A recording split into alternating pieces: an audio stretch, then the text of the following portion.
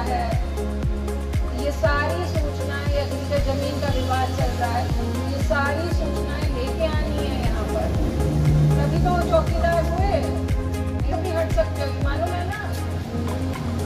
चौकीदार के पद से भी हट सकते हो। अगर काम अच्छा नहीं हुआ तो फिर हटाना पड़ेगा। तो बड़ी है, वो कहीं पे कमज़ोर पड़ गई है।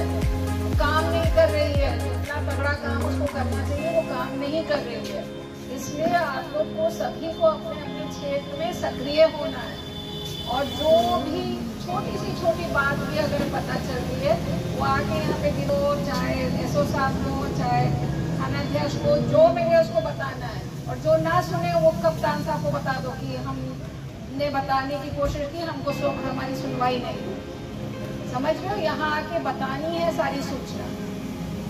और तब, तभी मिलेगा साइकिल, जूता, टोपी और वर्दी और नहीं तो फिर हम चौकीदारी से हटाना पड़ेगा। इसलिए काम अच्छा कीजिए। आपका इलाका संवेदनशील है। काम अच्छा कीजिए। और यहाँ पे अपना सूचना तंत्र थाने के लेवल पे मज़बूत करें करेंगे सब लोग?